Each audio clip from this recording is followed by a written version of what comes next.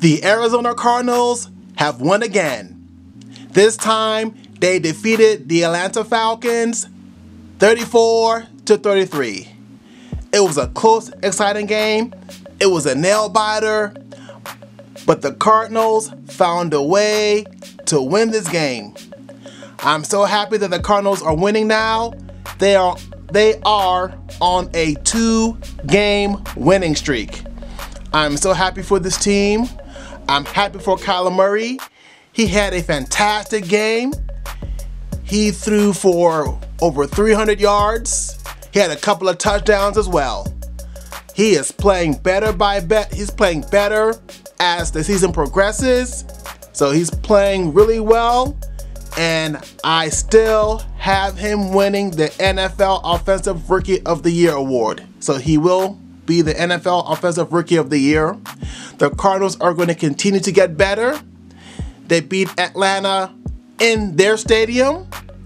And I'm so happy for this team. That offense is coming alive more and more.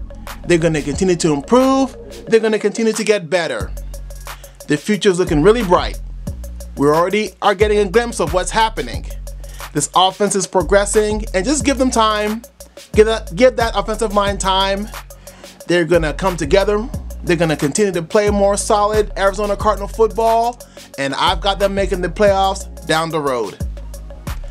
Kyler Murray is showing us why he is deserving of that number one overall pick. He continues to play hard. He continues to play well. I am so proud of Kyler Murray. He is the real deal. He is as great as advertised. A lot of people were doubting him because they were saying he's too small. He can't take too many hits. My thing is, he's so elusive, it's hard for the defense to get a clear shot on him. It's hard to tackle him. It's hard to bring him to the ground. And then on top of that, he can throw the football too. Man, he can throw that football. Wow. He's got special arm talent. That is something that you cannot teach. Either you have it or you don't. And he's got it. So the Cardinals have won two games in a row. They're going to keep on winning. I've got them winning about six or seven games this season. So that's my prediction. They're probably, they're, you know what? I wouldn't be surprised if they won more than that with the way they're playing right now. But I've got them winning at least six games, about six or seven. I'll just, you know, I'll just say seven. I'll be definitive. I'll say they'll win seven games this season.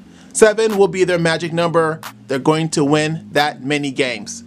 So I'm happy for the Cardinals getting this win. Like I said, it was a nail biter. It was a close game. But we know that's how the NFL is. A lot of NFL games are close games or nail biters. You just have to find a way to win. Now, granted, Bryant didn't miss that extra point, and that's how they won. But hey, it's all good. A win by any other name is still a win. So I'm all for it. I'm definitely on the Kyler Murray bandwagon. I'm not afraid to say it because he's the real deal. He is as great as advertised. And he's going to keep playing great. And he's going to lead the Cardinals to prominence down the road. Thanks for watching. Thanks for listening. You should definitely subscribe to my channel if you have not done so already. Just press that subscribe button below this video. If you did that, I'd greatly appreciate it. And plus, you'll be getting more content from me in the future. So definitely, definitely, definitely subscribe. Thanks again for watching. Thanks for listening.